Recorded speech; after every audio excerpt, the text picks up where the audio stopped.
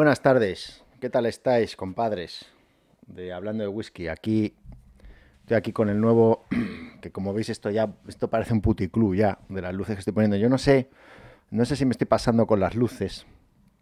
Vosotros me diréis un poco, pero bueno, está esto un poco este, vengo, vengo ahí hoy, muy vicenco, así muy más silvestrado.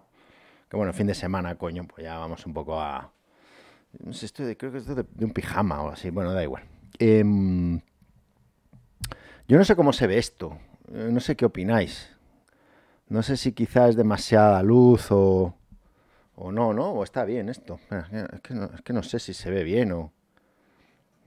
Es que estoy poniendo últimamente un montón de gilipolleces entre luces y mierdas y, cosas. Y yo no sé si, si... Yo no sé si va a hacer la pena. Mira, no se ve ni el whisky. Madre mía, vaya presentación de mierda de vídeo. Vamos a ver. Aquí estamos. No Creek, sí señor. Y bueno, pues nada, vamos hoy con otra que os tengo, os tengo un poco abandonado, lo sé.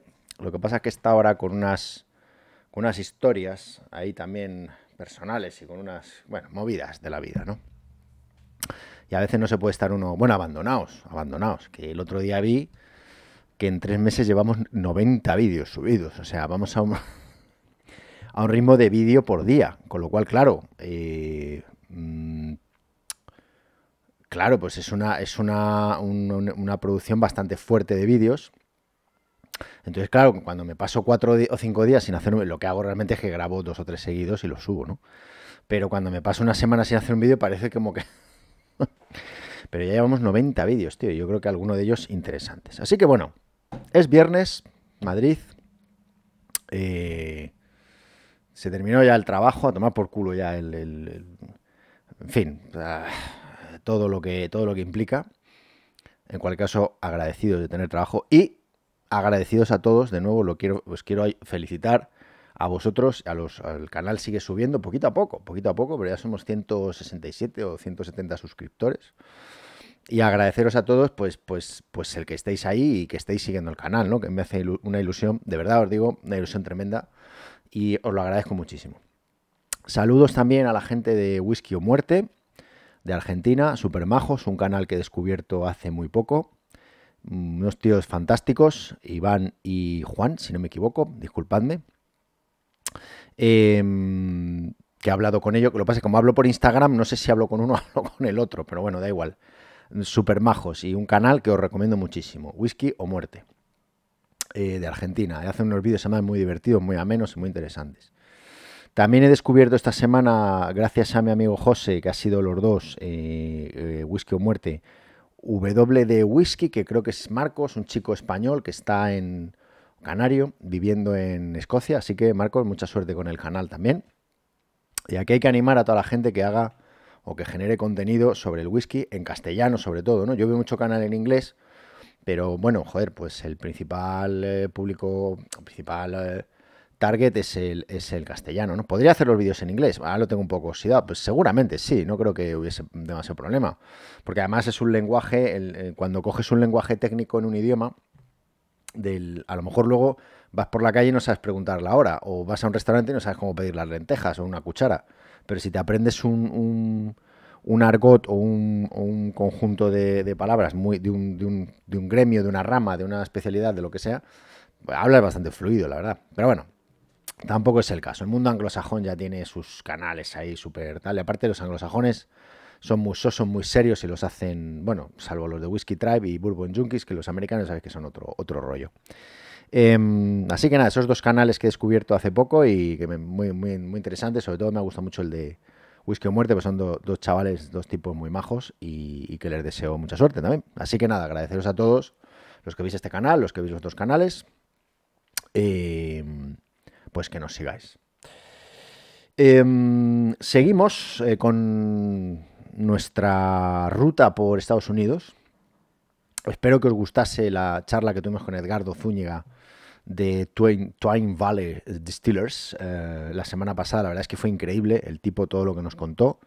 Tenéis por ahí el enlace y además un ejemplo de emprendimiento de un tío de poco sueño americano, ¿no? Un tío que se la juega todo, se gasta 40, 40.000 euros o 50.000 dólares, dijo, monta el business y mira para adelante, ¿no? Y tiene ahí su, propia destilería. Nos, recordad que, bueno, si no habéis visto la charla con él, muy interesante, nos estuvo enseñando todo el. Todo el. Joder, no se, no se me ve la cara, macho.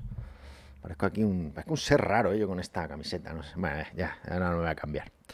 Em, y, bueno, pues que, el tipo nos contó unas cosas increíbles y un abrazo muy fuerte, Edgardo, desde aquí de nuevo. Cuídate mucho y a ver si algún día nos podemos ver en Maryland, verdaderamente. He hecho mucho de menos eh, estar en Estados Unidos y, estar por allí. La verdad que cuando estuve fui muy feliz y, lo echo de menos. Pero bueno, eh, la, vida es así, todos son etapas. Así que hoy vamos para volver un poco a Estados Unidos, vamos con Knob Creek Rye, que es por tanto la versión de Knob Creek de Centeno. Ya sabéis que yo soy un grandísimo eh, admirador y aficionado al whisky de Centeno y que Knob Creek, en su versión normal, Bourbon, ya me parece uno de los Bourbons más ricos que yo, bueno, probablemente, no, sé si el más rico, pero Buffalo Trace, Knob Creek, anda ahí, ahí la cosa. Knob Creek me parece increíble. Em, Knob Creek es em, una destilería muy conocida, ya hemos catado la versión de, de Bourbon, como os digo, en el canal. Este es un small batch, dice, añejado pacientemente. Eh, Stride Rye Whiskey, que de nuevo tenemos que corregir el tema Stride. Stride, vuelvo a tener que hacer una corrección, porque hablando con Edgardo, que nos dijo que efectivamente es que ha estado mínimo dos años envejecido. ¿eh? Lo que no sabemos es el tiempo. Eh, eh, el tiempo que puede haber aquí. Puede ser más de dos, más de tres, o yo qué sé. No, no, no, no, me termina de quedar claro lo de Stride, lo tengo que investigar en detalle. Cosas que os podemos decir de este Bourbon. Bueno, que está hecho a mano en cantidades limitadas para un mayor sabor, una, bueno, para un sabor superior y suavidad y, más suavidad. Son es un 50% de volumetría alcohólica, 70 centilitros. Es un straight rye whisky. No vemos, no sé si hay porcentajes de cuánto centeno han utilizado. Eh, está obviamente destilado, embotellado por Knob Creek en, Claremont, Kentucky. Pero no veo el, porcentaje de centeno. No sé si será un. Sabéis que tiene que ser un 51, pero en este caso no sabemos, no sabemos cuánto es. Como veis, tiene. Knob Creek tiene este sistema tan peculiar de, sellado, que lo vamos a quitar, que sabéis que es que se tira así, y entonces sale la. que además se rompe mucho, es bastante sucio. Sale un montón de trozos de, de la cosa esta. Pero bueno, es lo que hay. Y ya sale toda esta mugre. Es como un, es cera, vamos, no es, otra cosa. Y es una forma de sellado que es muy, no muy típica, pero sí más habitual en los Estados Unidos que en, que en, otras partes. ¿no? Yo en Europa, en el Scotch y demás, pues no lo, he, visto. Bueno, o si lo he visto no lo recuerdo, pero vamos, no me suena nada. Vamos a abrir, queda, esto me ocurrió la otra vez con el Knob Creek normal que queda el sello bastante, la verdad es que está bastante bien sellado. Creo que es un sello de plástico. Sí, efectivamente, lo cual bueno, nos da un poco igual. Lo que nos interesa es que esté bien sellado, sí, es un sellito de plástico. Wow, ya tiene un olor bastante bastante dulzón para mi gusto. Cuando la gente, para, para como a mí me gusta, cuando la gente habla del, del whisky de centeno, dice que es, es muy picante. A mí, de verdad, a mí personalmente me pasa lo contrario. O sea, a mí no me parece un whisky eh, em, picante en, absoluto el whisky de centeno. O sea, me parece un whisky tremendamente dulce. Tremendamente dulce. Bueno, vamos a ver. El color, pues es un color ambarino bastante fuerte, un color, digamos, tirando a caoba, si os fijáis. Pues comprobar un poco con la propia camisa mía, se nota que es un color bastante oscuro, no es un color claro. Sabéis que, bueno, por la legislación del, en Estados Unidos, pues no se puede añadir ningún tipo de porquería al whisky y por tanto en teoría es un whisky eh, pues eh, totalmente eh, sin, sin, colorantes, sin ningún tipo de aditivo. Sí que puede filtrarse, sí que puede filtrarse, pero es un whisky sin añadidos. Vamos a ver en nariz que nos encontramos este No Creek Rye. Yo tengo muchas expectativas. Por cierto, la botella cuesta unos 35 euros aquí en España. Vamos a Bueno, pues es un olor muy, muy dulce especiado, un tanto alcohólico, pero claro, son 50 grados, señores. No estamos hablando de algo... Llegan unas notas avellanas, frutos secos. También encontramos la madera. Encontramos el esmalte, el barniz, la laca, lo habitual en, las, botellas de, roble americano. Es un poquito alcohólico, no puedes acercar mucho la nariz. Unas notas a pastel, a bollería.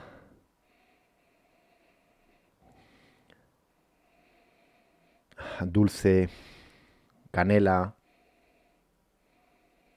Wow, y un olor a vainilla y a clavo delicioso. Sobre todo una vainilla de las más potentes que yo he olido. El olor a cereal mm, no, es tan, no, es tan, fuerte como en otros whiskies de centeno. Y me recuerda un poco, mm, miro porque lo tengo ahí, a 1776, un poco en nariz, o sea, tiene, tiene unas, unas notas similares. Muy agradable en nariz, muy dulce. Vamos a darle un minuto también, lo acabamos de servir. Son 50% de volumetría alcohólica, tenemos que darle un, margen. A todos estos whiskies hay que darle un margen. No, no puedes pretender un whisky según se sirve em, que automáticamente ya esté, esté eh, perfecto. No puede tardar unos minutos. Lo hemos dicho muchas veces, que lo dejes un minuto o dos en la copa es normal. Lo que no se va a arreglar es cerrando esto. O sea, este whisky no se va a suavizar porque lo dejes ahí un año después de abrirlo. O sea, olvídate de eso. Ni dos días. Pero sí que es cierto que cuando se abre un poco, como el vino, igual, se evapora un poquito esa potencia alcohólica, las moléculas cambian, interaccionan un poquito con, el oxígeno, con el aire, y ya toma un poco su sabor final, ¿no? Porque tú no puedes meterte ahí dentro a beberlo. O sea, lo bebes, lo bebes ya con una cierta oxigenación. Mira, ha aligerado mucho la carga alcohólica. Viene ahora un olor muy interesante a canela, como a galleta de canela, como un poco a jengibre también. hay unas notas tropicales riquísimas a, mango, a fruta de la pasión, a, melón, a piña. Notas muy, muy, muy cítricas, muy ácidas también. Promete, promete. En la nota alcohólica, la integración alcohólica en nariz no está mm, lograda a la perfección, es decir, tiene un, hay, un, hay un punto alcohólico mm, que no, no, no, no, se confunde con un especiado, no, es alcohol, pero bueno. Y de unas notas dulces y de las, las, que hemos estado comentando, pero sobre todo también algunas muy tropicales, muy interesantes. ¿eh? Coco, galleta, bueno, vamos a ver en boca Knob Creek Rye.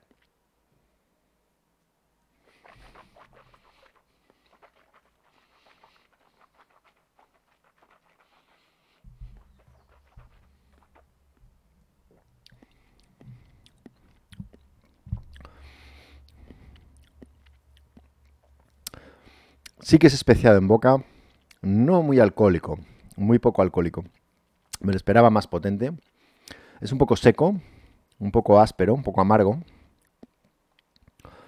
Pero luego tiene unas notas dulces, esa aspereza, esa sequedad, deja pasar un dulzor muy agradable, con un retrogusto interesantísimo a la canela, a la madera. Es muy dulce ahora, muy dulce, muy rico, muy rico en boca. Un, whisky de centeno muy rico. Es un whisky de centeno mm, potente. ¿eh? potente. O sea, no, no esperéis. Em, no esperéis tonterías las justas con Knob Creek Rye. O sea, creo que es un whisky muy interesante también para tomar con hielo o con un poco de agua.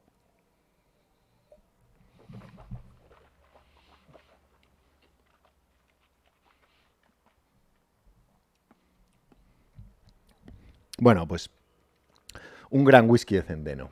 Un gran whisky de centeno. Vamos a probar con un poquito de agua.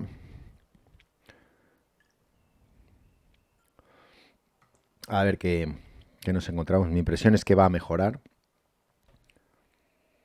Efectivamente, como suele ocurrir, la madera se potencia, se vuelve herbal, terloso. El alcohol, sin embargo, se suaviza, se matiza, pero...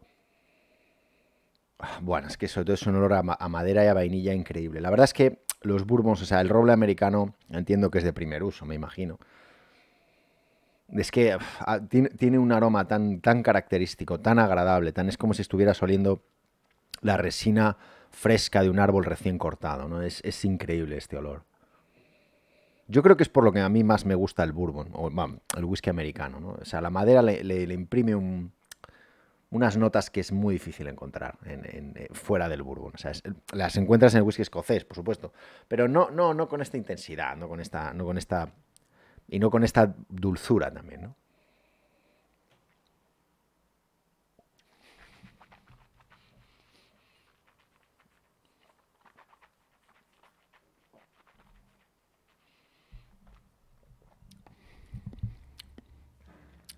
Extraordinario. Extraordinario, cálido, especiado, un poco picante, pero a la vez muy dulce, muy amaderado, notas a canela, a em, vainilla, hay un poco de, diría un poco de membrillo, pero membrillo crudo, ojo, no, no membrillo dulce ya procesado, sino lo que es el fruto del membrillo Sí, algo así. Almendras amargas. Muy bueno, muy bueno. O sea, un whisky de centeno verdaderamente rico, verdaderamente recomendable, que me alegro mucho de haber comprado. Tenía muchas expectativas en él y no me ha defraudado en absoluto. Si te, busca, si te gusta el whisky americano y te, gusta, te gusta el whisky de centeno y te busca... joder. Y te gusta algo con, cierta potencia y con, con cierto carácter, Knob Creek Rye es muy rico. ¿Diría que me gusta más que el Knob Creek normal? No, me gusta más el Knob Creek Bourbon. Como whiskies de centeno, ¿me parece rico? Sí, pero no me parece el mejor whisky de centeno, pero es muy bueno, ¿eh? es muy bueno. Sin lugar a dudas, para mí el 1776 ha sido el descubrimiento en el mundo del centeno que no puedo mm, dejar de nombrar. Y eh, Bullet Rye me sigue pareciendo, me siguen pareciendo los whiskies de, la hostia, ¿vale? De centeno. El tercero probablemente sería Knob Creek Rye. Creek Rye. O sea, es un gran, gran, gran, gran whisky de centeno. Pero a mí me gustan un poquito más los otros dos. Tiene un precio, ya os digo, razonable, unos 35 euros, 37 euros, creo que lo compré en, en, Amazon o, en, en, Vinos Baco aquí en Madrid. Es, es bastante fácil de conseguir en, en, España, no es muy complicado y si, os, desde luego, pues os lo recomiendo mucho. Gran whisky. Muy bien, señores, pues hasta aquí la cata de hoy. Espero que te haya gustado, que hayas aprendido algo. Eh, recuerda hacerte subscribe. Aquí ya, joder, la verdad es que me parece un puticlub esto. Yo no sé, no sé si. No sé si me pasa con las luces. Es que además, mirad, ahora con la. Ahora resulta que yo puedo hacer así ahora. No, no tiene ni idea, porque fijaos que gilipollez. Mira, mira, mira. Mira, mira, mira. Mira, mira, mira, Y las puedo poner, puedo poner todas las chorradas que quiera aquí desde el móvil, ¿no? Que es una pasada. Yo no sé, ahora es de día, entonces yo no sé si así rojo o verde o... No sé, lo que pasa es que el azul me gusta, no sé si es el... es que se da mucha claridad, ¿no? Yo creo que sí. Ah, mira, para el día sí queda bastante, ¿eh? Es que no sé si parece un... Bueno, en fin. Las chorradas aquí que os voy contando. Em, un placer, espero que hayas aprendido algo. Suscríbete al canal si te apetece... Si te apetece suscribirte, si no, pues no te suscribas, obviamente. Gracias por seguirnos, siempre lo decimos. Recuerda que el alcohol es una toxina muy fuerte que afecta a tu estado de conciencia, que te puede provocar muchos problemas y muchos, muchos accidentes y cosas si conduces o si haces actividades peligrosas, así que por favor no bebas si haces ese tipo de cosas eh, y no bebe responsablemente siempre, ¿de acuerdo? Em, un placer, nos vemos en el próximo vídeo del canal, si tú quieres, claro, y nada, cuídate mucho y sé feliz, que es lo más importante. Un abrazo, hasta pronto, nos vemos.